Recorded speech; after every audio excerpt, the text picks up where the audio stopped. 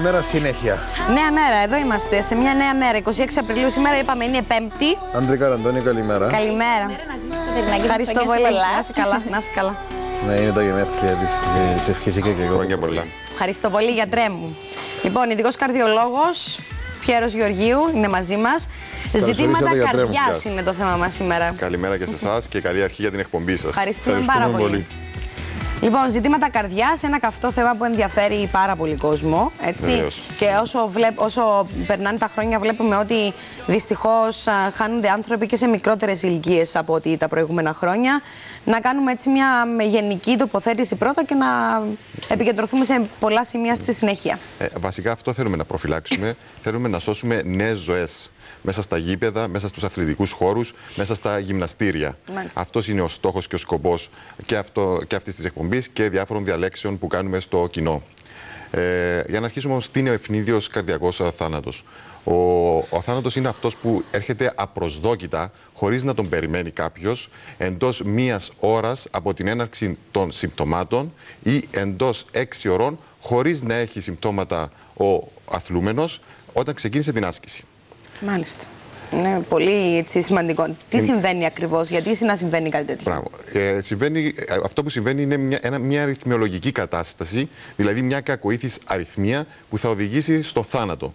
Αλλά από κάτω υποκρύπτεται ένα παθολογικό υπόστρωμα, το οποίο δεν γνωρίζει το άτομο, δεν γνωρίζει ότι πάσχει από κάποια νόσο, καρδιολογική, Μάλιστα. όσο επιτοπλίστο. Αυτό ισχύει πάντα, γιατρέ. Διότι ακούσαμε και περιπτώσεις. Πέθανε ο τάδε. Άτε ρε παιδί μου, ε, μα, ε, είχε κάποιο πρόβλημα. Δεν είχε κανένα πρόβλημα. Λέμε πολλοί. Όταν γίνει μια σωστή ε, νεκροτομή και ιατροδικαστική έρευνα θα αποκαλύψει ε, τα, τα πλήστα των περιπτώσεων ότι υπάρχει υπόστρωμα. Μάλιστα. Στις περισσότερες περιπτώσεις. Άρα εδώ είναι που έρχεται η πρόληψη του check-up κάθε χρόνο κλπ. κλπ. Βεβαίως, βεβαίως. Θα τα πούμε και στη συνέχεια. Αλλά καλά είναι να πούμε και ποια είναι τα αίτια. Αφού έχετε αναφέρει Ακριβώς. προηγουμένως ποια είναι τα αίτια που θα οδηγήσουν στον ευνίδιο καρδιακό θάνατο.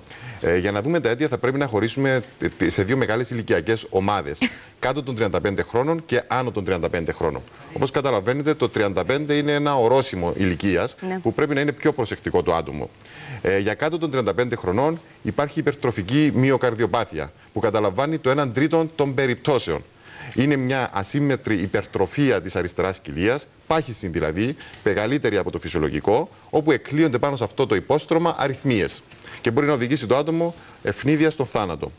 Ε, οι συγγενείς ανομαλίες των στεφανίων αρτηριών. Γνωρίζετε όλοι οι στεφανίες αρτηρίες είναι αυτές που περιβάλλουν την καρδιά σαν στεφάνι και τροφοδοτούν με αίμα την καρδιά μας. Ε, αυτές όταν εκφύονται λαθασμένα, για να μην επισέλθουμε σε κατελογικές γνώσεις, ε, τότε μπορεί να πάθει ισχυμία το άτομο, αριθμία και να οδηγηθεί στο θάνατο. Επίσης, η αριθμιογόνος δυσπλασία της δεξιάς. Μια πάθηση που ενδυμεί κυρίως στην Ιταλία. Γι' αυτό και βλέπετε αρκετούς ποδοσφαιριστές και τελευταία ένας Ναι. Ιταλός ποδοσφαιριστής απεβίωσε στο γήπεδο. Τριών χρονών νομίζω. Βεβαίως. Ναι, ναι. Είναι μια πάθηση ε, δυσπλασία της δεξιάς. Δηλαδή είναι άσχημη κατασκευή της δεξιάς κοιλίας. Να το πούμε έτσι απλά. Μάλιστα. Κάτι όμως που ενδιαφέρει ίσως περισσότερο τον κόσμο είναι η μυοκαρδίτιδα. Όλες αυτές που έχω αναφέρει είναι κληρονομικές παθήσεις. Η μυοκαρδίτιδα μπορεί να επέρθει μετά από μια γρήπη, μετά από μια ίωση. Δηλαδή, το φλεγμένο, όπως παθαίνουμε φαρικίτιδα, αμυγδαλίτιδα, ο ιός ή το μικρόβιο να κατέβει λίγο πιο κάτω στην καρδιά και να πάθουμε μυοκαρδίτιδα ή και περικαρδίτιδα. Αυτό θα μας οδηγήσει στο γιατρό, γιατί θα έχουμε και τα συμπτώματα εκτός της κακουχίας, του πυρετού και της αδυναμίας, θα έχουμε και τον πόνο στο στήθος. Αχα. Αυτό πρέπει να το δει διεξοδικά ο ειδικός καρδιολόγος και θα πρέπει να απαγορεύσει την άθληση για έξι μήνες. Είναι πολύ σημαντικό. Γιατί τότε θα ξεχυλώσει η καρδιά και θα οδηγηθούμε στην καρδιακή ανεπάρκεια. Δεν είναι μόνο οι αθλητές, αλλά είναι και οι αθλούμενοι. Έτσι, μια συζήτηση που είχαμε χθες στο τηλέφωνο.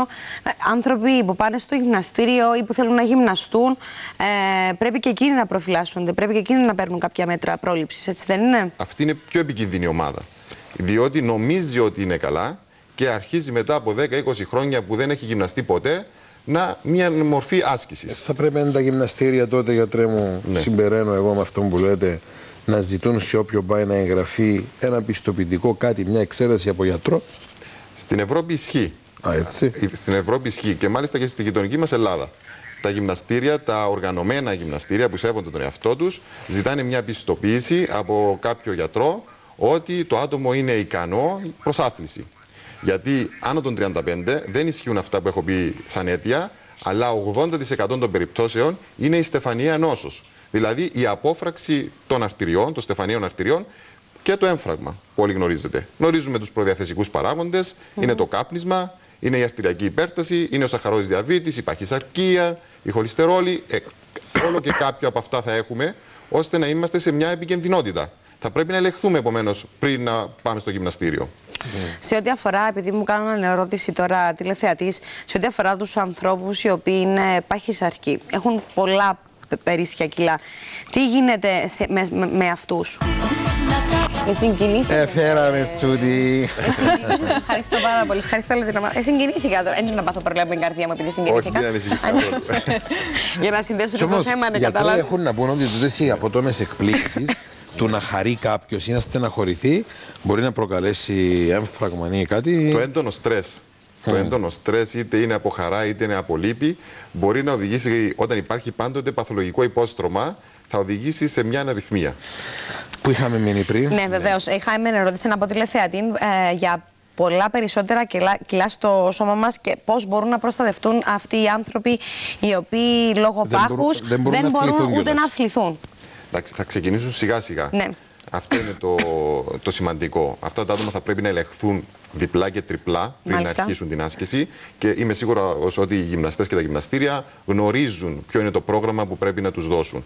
Εξάλλου πρέπει να μπουν και σε μια μορφή δίαιτας για απώλεια των περιττών κιλών ώστε να φτάσει το άτομο σε μια υγιή κατάσταση, ώστε να μπορεί να αθλείται και να ε, είναι υπέρ της ε, υγείας του αυτό. Μάλιστα. Να πούμε ότι τα τηλέφωνα της εκπομπής μας είναι ανοιχτά 22 477 777 για οποιασδήποτε απορίες. Ο ειδικός καρδιολόγος μας, ο κύριος Πιέρος Γεωργίου, ο γιατρός, είναι εδώ για να σας απαντήσει. 22 477 777.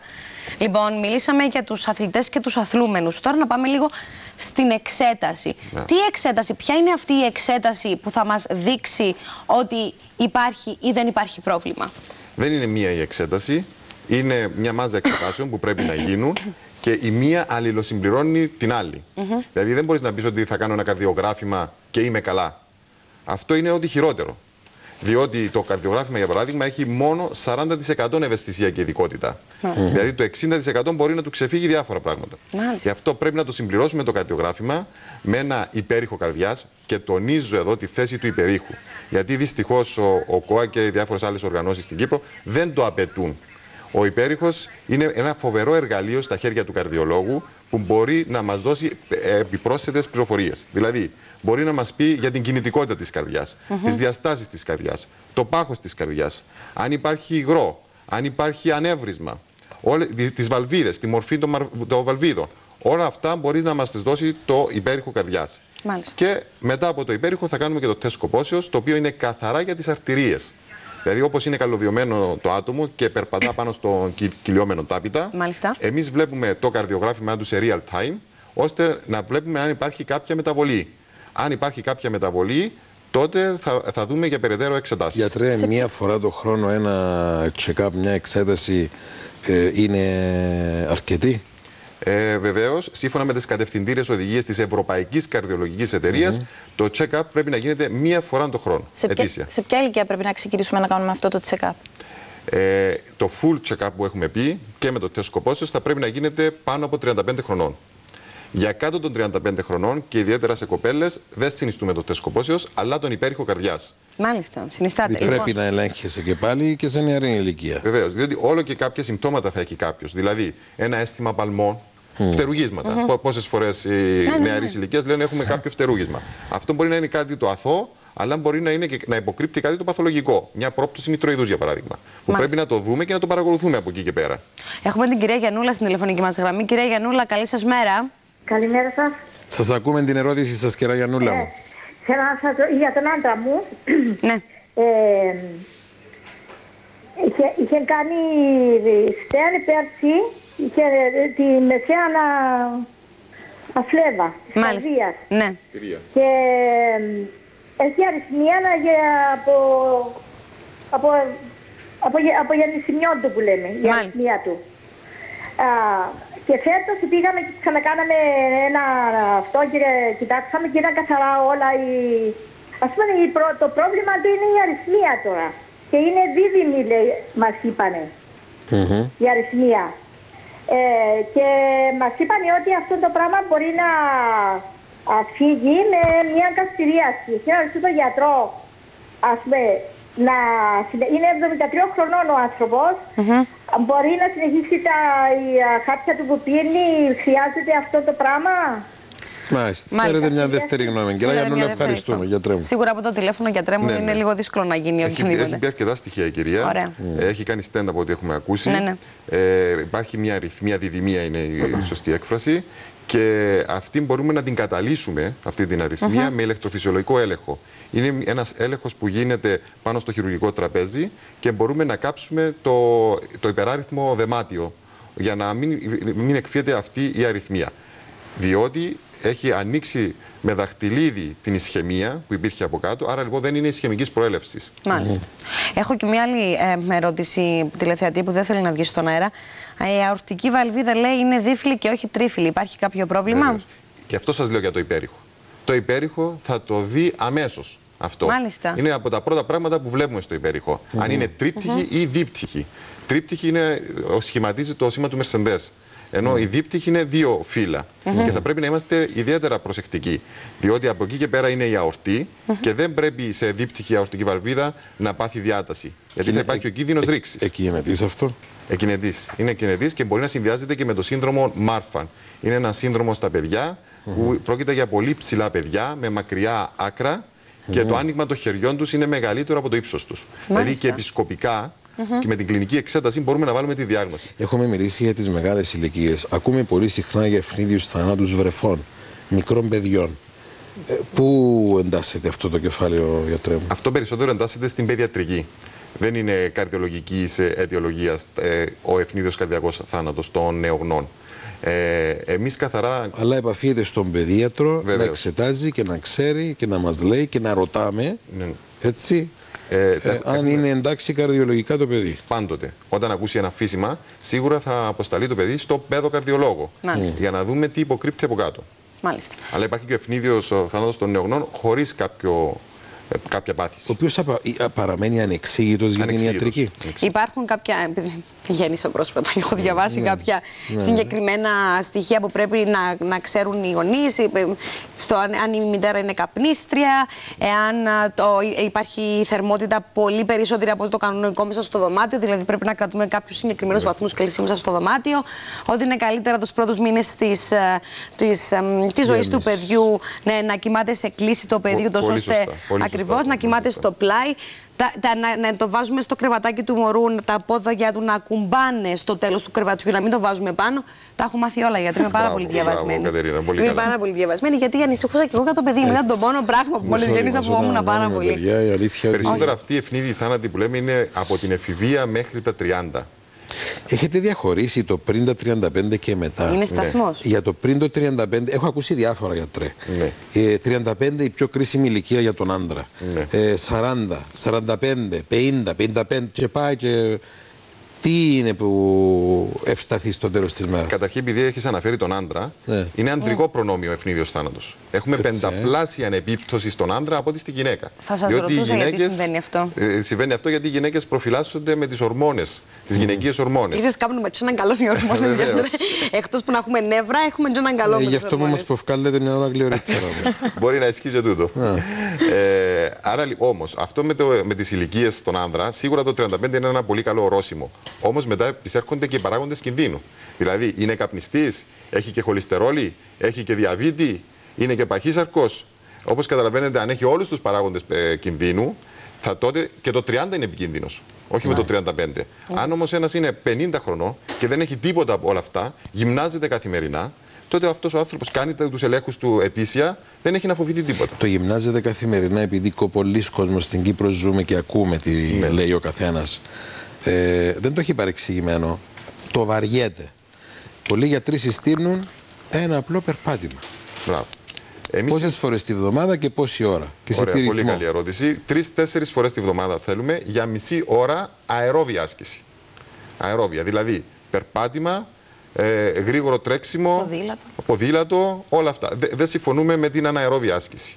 η οποία θα λέγαμε ότι σκορσάρει την καρδιά. Δηλαδή, Μπορεί να την πεπαχύνει. Δηλαδή να πάει να κάνεις βάρη, ας πούμε. Ναι, βάρη μέσα σε όρια τώρα. Τώρα, αν θα κάνει κάποιος για συντήρηση, αυτό δεν είναι πρόβλημα. Να. Αλλά αν είναι πρωταθλητισμός, αυτό δεν είναι καλό για την καρδιά. Σαν εγώ γιατρέ προσωπικά. Ναι. Ασχολούμουν με την σχηματική διάπλαση και την άρση βαρό χρόνια.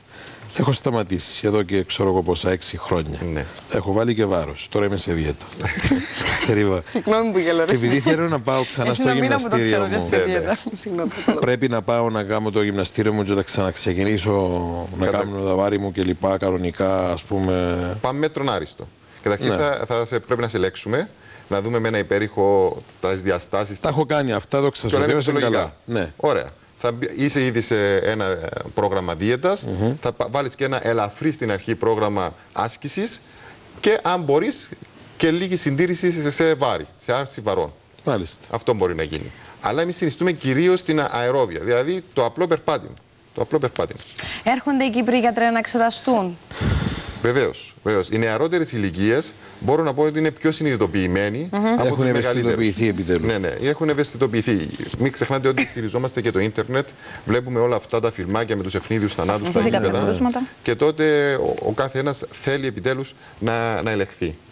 Άρα, ε, τι κάνουμε, πρέπει να προχωρήσουμε τέλος πάντων σε- στις εξετάσεις αυτές τις εξειδικευμένες που μας έχετε πει και από εκεί και πέρα ε, υπάρχει, κάτι, υπά- υπάρχει περίπτωση να μην α, βρεθεί, να μην, να, να μην οι εξετάσεις να μην βρουν ποτέ ένα πρόβλημα που ενδεχομένως να υπάρχει; Ε, όλα και σε αυτά- ποιες περιπτώσεις γίνεται αυτό; Μπράβο, πολύ καλή ερώτηση. Όλα αυτά που έχουμε πει μας καλύπτουν στο 95 με 98%.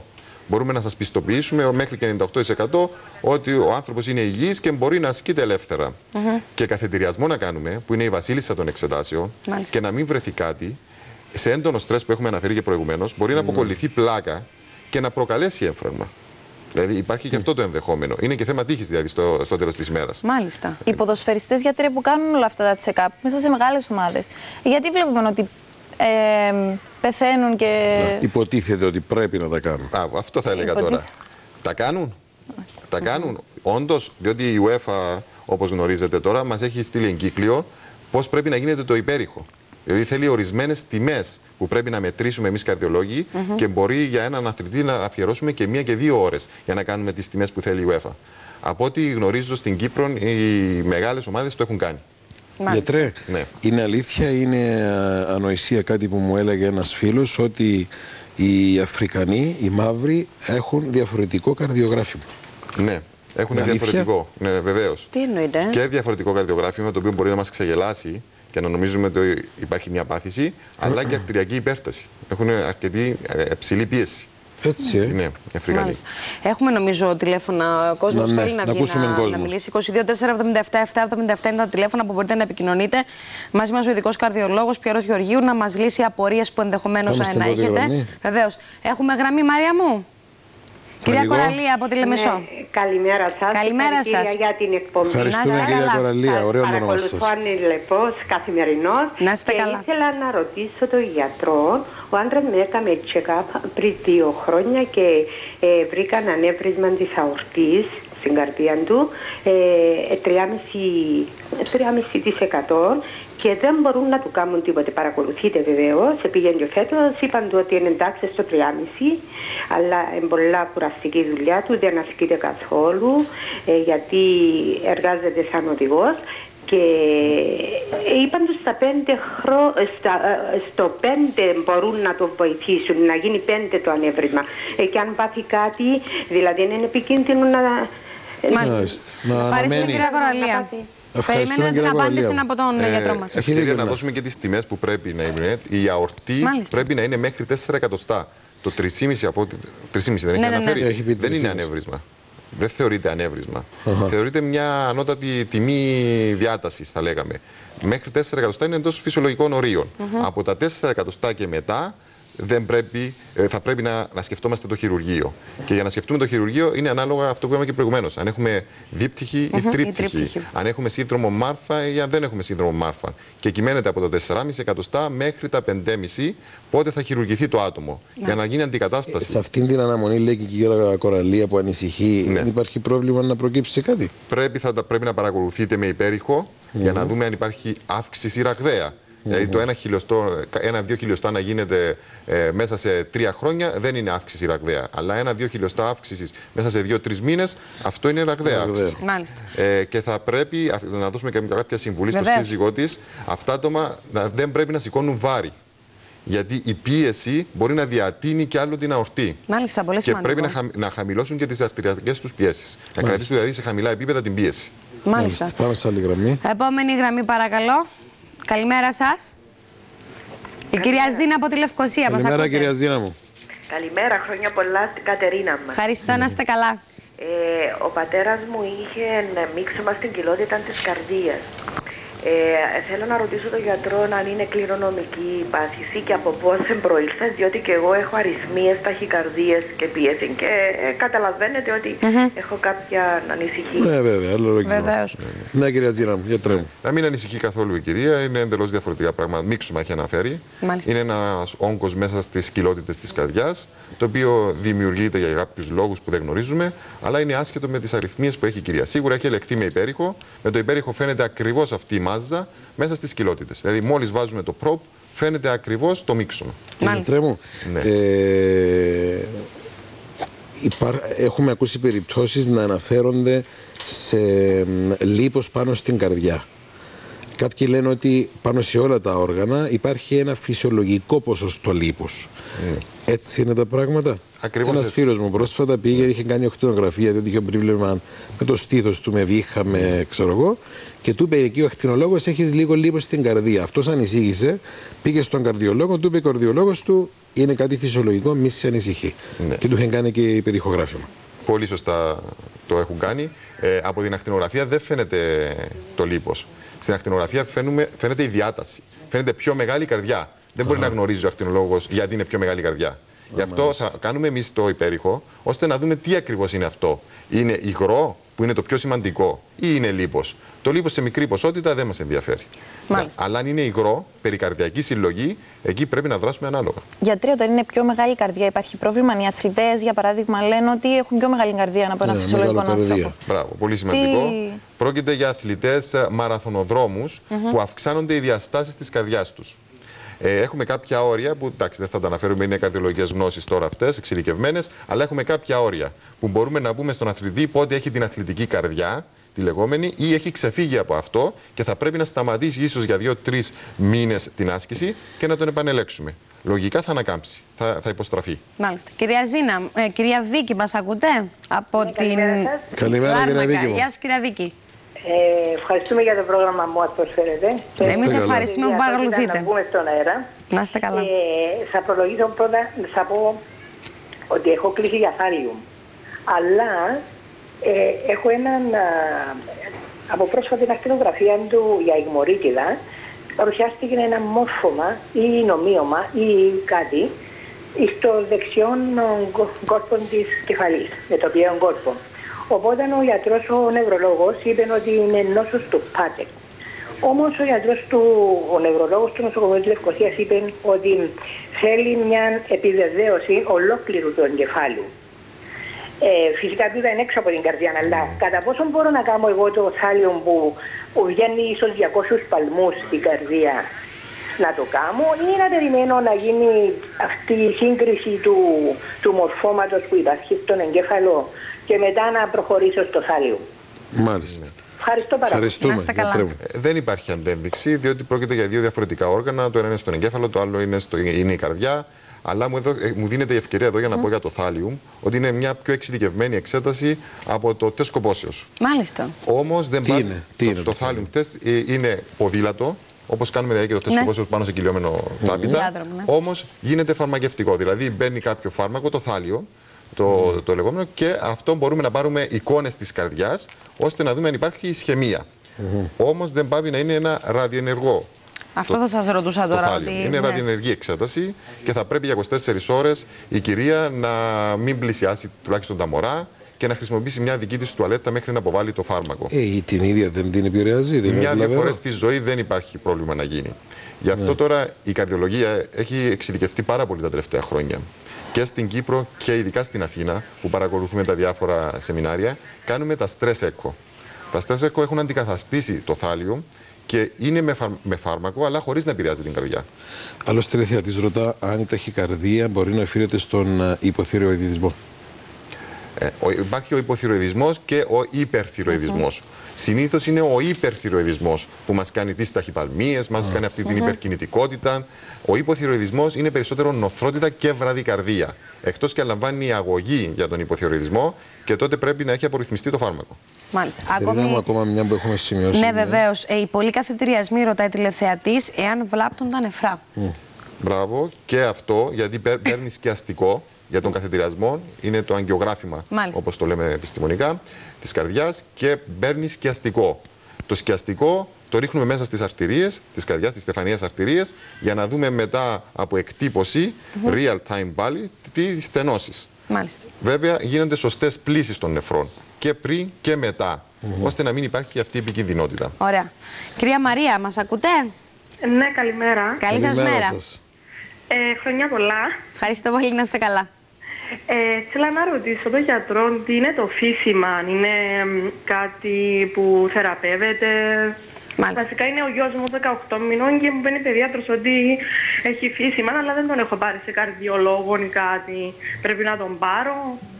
Ωραία, κυρία Μαρία, ευχαριστούμε. Έχω Να σοβαρή ακούσουμε μορφή την απάντηση. ισχυρνίου. Μπράβο. Υπάρχουν και τα αθώα και τα δόξα σοβαρά. Αυτό ακριβώς. Είναι πολύ καλή ερώτηση για να πούμε λίγο και για τα φυσίματα. Υπάρχουν τα αθώα λειτουργικά φυσίματα. Πιστεύω ότι το μωρό αυτό είναι ένα αθώο λειτουργικό φύσιμα και με την πάροδο της ηλικίας θα εξαφανιστεί. Επιδεινώνεται στον πυρετό. Δηλαδή, όταν είναι άρρωστο το μωρό, λόγω της υπερκινητικής κυκλοφορίας, ακούγεται εντονότερα Μάλιστα. το φύσιμα. Υπάρχουν όμως και τα παθολογικά φυσίματα, τα οποία υποκρύπτουν μια νόσο. Και μπορεί να είναι μεσοκολπική επικοινωνία ή μεσοκυλιακή επικοινωνία ή και πρόβλημα βαλβίδας. Αυτό θα μας το θέσει τη διάγνωση το υπέρηχο. Γι' αυτό είμαι κάθετος με το υπέρηχο. Ότι πρέπει να γίνεται. Εμείς το θεωρούμε, παλαιότερα ήταν το στιθοσκόπιο. Τώρα θεωρούμε τον υπέρηχο σαν προέκταση του χεριού μας.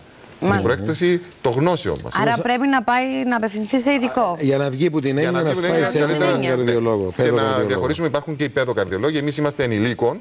Εδώ Μάλιστα. θα πρέπει να επισκεφθεί παιδοκαρδιολόγο. Παιδοκαρδιολόγο, Ναι. βέβαια. Για να βγει από την έννοια. Για να όχι βγει από ότι- την έννοια. Αλλά πιστεύω ότι είναι αθώο λειτουργικό φύσιμα. Μάλιστα. Έχουμε άλλη τηλεφωνική γραμμή; Καλημέρα σας, η κυρία Κωνσταντίνου από την Λεμεσό. Χρόνια σας πολλά, καλή αρχή. Να είστε καλά, Ευχαριστούμε κυρία ευχαριστούμε. Κωνσταντίνα. Ακούμε την ερώτηση σας. Ε, εγώ είχα- είμαι χειρουργημένη καρδία ε, ε, πριν τρία χρόνια. Ε, έπρεπε να χειρουργηθώ, μου είπαν, γιατί είχα, προηγουμένως είχα σοβαρές αριθμίες, έπρεπε να κάνω την καυστηρίαση. Και μου είπαν ότι πρέπει να τσακαριστεί η καρδία πρώτα και μετά να πάω. Ε, έκανα την εγχείρηση, αλλά μόλις βγήκα από το χειρουργείο έπαθα 40% ανεπάρκεια. Έπαθα έφραγμα. Ε, όταν πήγα Αγγλία έκανα τις αριθμίες, ο γιατρός εκεί φυσικά είπε μου ότι μ, εντάξει, ε, ε, δεν έπρεπε να γίνει εγχείρηση. Τώρα όμως μετά από έντονο στρες που είχα κάποιο πρόβλημα νιώθω σαν αριθμίες. Μπορεί να επανέλθουν οι αριθμίες. Μάλιστα. Ωραία. Κυρία Και το Κωνσταντίνου, άλλο, ευχαριστώ. Ναι. στο δεξιό, ε, στο αριστερό που μου βγάλαν τη μαστική, έχω πόνο συνέχεια. Ναι. Μάλιστα. Εντάξει. Να Ναι, απαντήσει γιατρέ ο μου. γιατρός. Εντάξει. Ε, σίγουρα για να δούμε τις αριθμίες της κυρίας υπάρχει το Holter. Είναι μια 24ωρη καταγραφή που ο ασθενής έρχεται στο ιατρείο, του βάζουμε τα καλώδια στο στήθος, πηγαίνει στο σπίτι, είναι όσο ένα κινητό στη ζώνη του, γίνεται καταγραφή όλο το 24ωρο, έρχεται την επόμενη μέρα και το αναλύουμε στον υπολογιστή. Και βλέπουμε για κάθε δευτερόλεπτο αυτό του 24ωρου τι αριθμίες κάνει. Μάλιστα. Σε αυτή την Μάλιστα. περίπτωση να δούμε, είναι κακοήθης, είναι καλοήθης οι αριθμίες, μπορούμε να τις βοηθήσουμε με φαρμακευτική αγωγή, αυτό μπορούμε να, να κάνουμε. Μάλιστα. Ε, Μαρία Λευκοσία, μας ακούτε. Κυρία Μαρία, γεια σας, καλημέρα. Ναι, καλημέρα σας. Γεια σας. Ε, θα ήθελα να ρωτήσω, ε, η ακτινογραφία θώρακα που γίνεται για, το, για τους αθλητές Ναι. ε, κάθε δύο χρόνια, πόσο βλαβερή είναι; Μάλιστα. Ευχαριστούμε κυρία Μαρία μου. Ε, Χαίρομαι που έκανε αυτή την ερώτηση, γιατί με δική μου πρωτοβουλία και άλλων συναδέρφων έχουμε αποσύρει τον προηγούμενο μήνα την ακτινογραφία θώρακος από τα δελτία υγείας. Έτσι, Το ε. θεωρώ απαράδεκτο ένα παιδί 12-13 χρόνων να το ακτινοβολούμε κάθε 2-3 χρόνια χωρίς λόγο και χωρίς να έχουμε και κάποια συγκεκριμένη αιτία να κάνουμε την ακτινογραφία θώρακος. Και από εδώ και πέρα δεν θα χρειάζεται η ακτινογραφία για το δελτίο υγείας. Ε, Μόνο μία ακτινογραφία θα κάνουμε για τις ηλικίες άνω των 35 ετών και εφόσον υπάρχουν συμπτώματα. Μάλιστα. Απεινιδωτέ στα στάδια και στα γήπεδα. Ωραία, είναι και αυτό ένα πολύ καλό θέμα. Και ένα τηλεθεατή ρωτά τα καλά και τα κακά του απεινίδωτη, λέει. Ναι, μόνο καλά έχει. Μόνο καλά. Κακά δεν έχει. Φτάνει να υπάρχει εκπαιδευμένο προσωπικό. Ακριβώς. Ακριβώς. Θα πρέπει όλα τα γυμναστήρια, αθλητικούς χώρους και ακόμα και τα σχολεία, εγώ το προχωράω και στα σχολεία. Και Γιατί καλά είχε και κάνετε. στο σπίτι, γιατρέ; Στο σπίτι τότε θα είμαστε όλοι Με έναν απεινιδωτή στο με ένα χέρι. απεινιδωτή στο χέρι και αγχωμένοι. Σε κοινόχρηστους χώρους. Όταν υπάρχει πρόβλημα σε κάποιον, βάζουμε εμφυτεύσιμον απεινιδωτή. Δηλαδή, ε, για να σωθεί ο ίδιος σε περίπτωση ανακοπής. Όταν δεν υπάρχει πρόβλημα, μόνο σε κοινόχρηστους χώρους, όπως είναι τα αεροδρόμια, οι τράπεζες, σε αυτούς τους χώρους και στην Κύπρο, ευτυχώς υπάρχει ο απεινιδωτή και υπάρχει και κατάλληλο προσωπικό για, που μπορεί να το χρησιμοποιήσει. Είναι πολύ εύκολο στη χρήση και μπορεί να σώσει μια ζωή. Μάλιστα. Λοιπόν, ε, Αιμοσφαιρινοπάθειες, λέει. ο Βεβαίως, ναι. τηλεθεατής. Ε, μ, εάν έχουν πρόβλημα με την καρδία, κάπως έτσι ήταν η ερώτηση. Ε, Δεν ξέρω αν μπορείτε Ναι. να μου την επαναλάβετε, γιατί δεν την έχω γράψει. Αν τα άτομα με Αν τα άτομα με αιμοσφαιρινοπάθειες, σφαιρινοπάθεια έχουν ε, κίνδυνο για Πρόβλημα με πρόβλημα την με την καρδία. καρδιά. Ε, σίγουρα όταν αυξάνεται η αιμοσφαιρίνη, αυξάνεται και η πηχτικότητα του αίματος. Και από εκεί μπορεί να δημιουργηθεί θρόμβος και απόφραξη αρτηριών.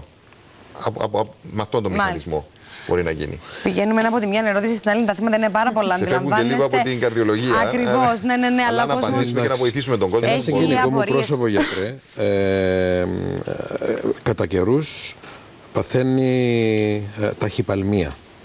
Ε, π- πραγματικά, εγώ όταν το είχα δει την πρώτη φορά είχα ανησυχήσει διότι φαινόταν μέχρι εδώ στο λαιμό και όλο το κορμί φαινόταν η ταχυκαρδία, η ταχυπαλμία. Ταχυπαλμία, Ε, πήγε σε καρδιολόγο, την εξέταση ήταν ε, μια χαρά. Απλώς της είχε πει ότι και το καρδιογράφημα της ήταν διαφορετικό. Είναι, λέει, μια κλωστή κάτι η οποία θέλει κάψιμο. Ναι, Αυτό που είπαν και οι τηλεθεατές προηγουμένως. Είναι η ίδια περίπτωση. Είναι παρόμοιες περιπτώσεις. Πρέπει να εξετάζεται κατά καιρούς. Πρέπει να κάνει αυτόν το κάψιμο ή να μείνει.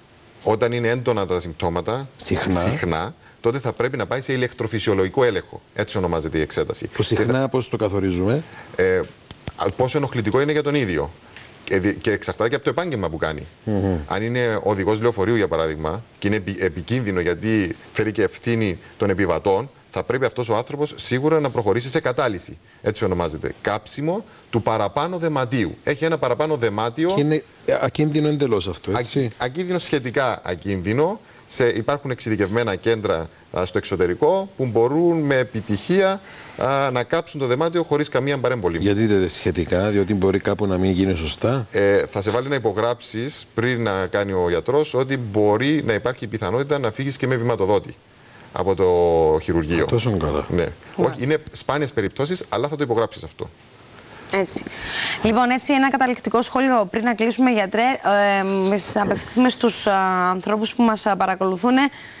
Πρακτικά τι πρέπει να κάνουμε τόσο ώστε να ξέρουμε ότι η καρδούλα μας δουλεύει κανονικά και θα δουλεύει κανονικά. Πρέπει κάθε χρόνο να κάνουμε το ετήσιο check-up, το οποίο περιλαμβάνει αυτή την, την κλινική εξέταση, περιλαμβάνει τις αναλύσεις αίματος, το καρδιογράφημα, τον υπέρηχο καρδιάς και το τεστ κοπόσεως. Μάλιστα. Δεν είναι πολλή ώρα, είναι κάτω από μία ώρα. Μπορούμε να τα κάνουμε όλα στο ιατρείο μας και μην ξεχνάτε ότι η πρόληψη σώζει ζωές. Αυτό ακριβώς. Σωστό. Σας ευχαριστούμε πάρα πολύ. Ευχαριστούμε, Να γιατρέ.